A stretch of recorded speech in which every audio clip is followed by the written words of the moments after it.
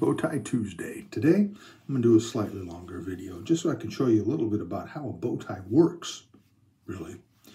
A bow tie, like so, is really just a simple strip of cloth that has a bit of a form to it. That is what your bow is going to look like. Doesn't matter how long the rest of it is. So all the adjustment happens in here. This, this band could be as long as the equator, could reach all the way around, but the bow itself would still just be right here, see, see the thick part right here? Where that folds over and comes on back down, that's the size of your bow.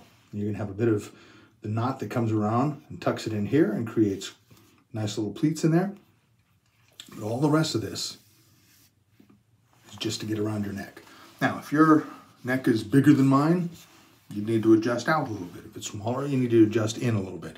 So here's a way that you can do it. A lot of bow ties are set up this way. They got a bit of cloth in here with holes along the way so that you can take out this little T-bar, that's what I'm gonna call it anyway, like so. And you can adjust it tighter or looser as you need to. Now, like I told you, my neck is about 17 inches. But most of the bow ties I wear, 15 is the number that works.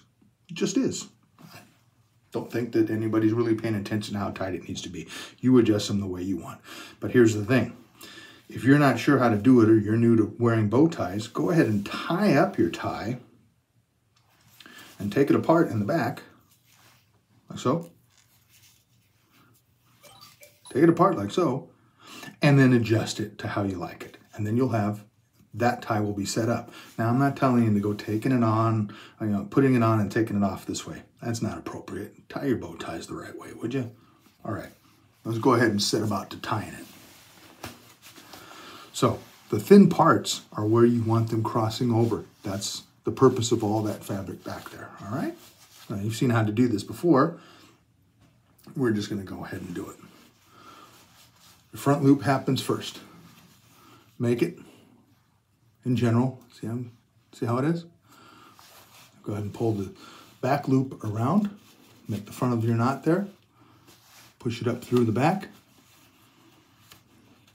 And then start to arranging. You pull, you pull the loops to tighten. You pull the tags to loosen. And you can just go back and forth a little bit until it's about how you want it. You can put your collar down at that point. You want to see how the whole thing's going to look. And at that point, if you really just want to tighten up, but you want to leave everything about the way it is, you can pull the back of the front loop like that out, like so, and the front of the back loop like that, and pull that out like that, and that'll give you about where it needs to be. There you go. Doesn't take much to be erudite, but it's worth it. Okay. Doesn't take much to be fancy, but a bow tie does it for me. Stay erudite.